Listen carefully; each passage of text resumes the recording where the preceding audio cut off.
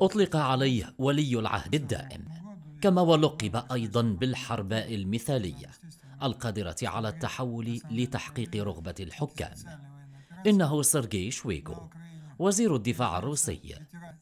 يعد سيرجي أحد الأذرع القوية لبوتين فهو مهندس حملة ضم شبه جزيرة القرم عام 2014 كما أنه المخطط الرئيسي للاستراتيجية العسكرية الروسية في سوريا وكان له دور بارز في دعم الانفصاليين الموالين لروسيا في منطقة دونباس وينظر إليه على أنه من بين الرجال الأكثر وفاء لفلاديمير بوتين وقد تسلق سلم المناصب خلال الأعوام الماضية.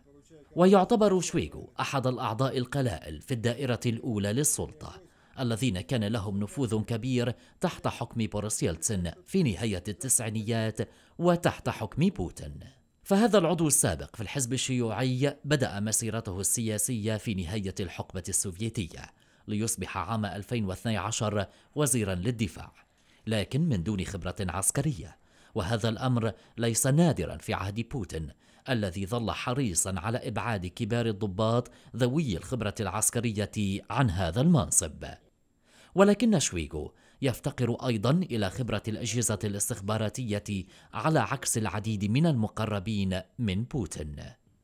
وتم تعيين شويغو بمنصب وزير حالات الطوارئ في عهد بوريس يلتسن وفي مطلع القرن الحادي والعشرين تحول هذا الجهاز إلى دولة فعلية داخل الدولة إذ أصبح يضم أكثر من 350 ألف رجل وشرطة متخصصة جاهزة للانتشار لدى وقوع أبسط حادث على الأراضي الروسية.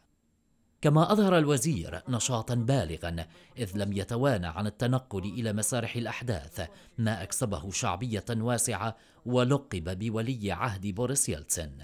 ولكن فلاديمير بوتين هو من تولى السلطة عام 2002 ولا يبدو أن سيرجي شويغو شعر بالإستياء بل وضع نفسه على الفور في خدمة الرجل القوي الجديد في الكرملين وترأس على وجه الخصوص حزب روسيا الموحدة نيابة عن فلاديمير بوتين من أجل ترسيخ قبضة الرئيس على اللعبة السياسية الروسية. وتعد الميزة الأساسية للرجل بالنسبة لبوتين قدرته الفائقة على التحول من أجل تحقيق رغبات الحكام وهو ما أدى لنجاحه في كسب ثقة بوتين وهو ما دفع البعض لتلقيبه بالحرباء المثالية.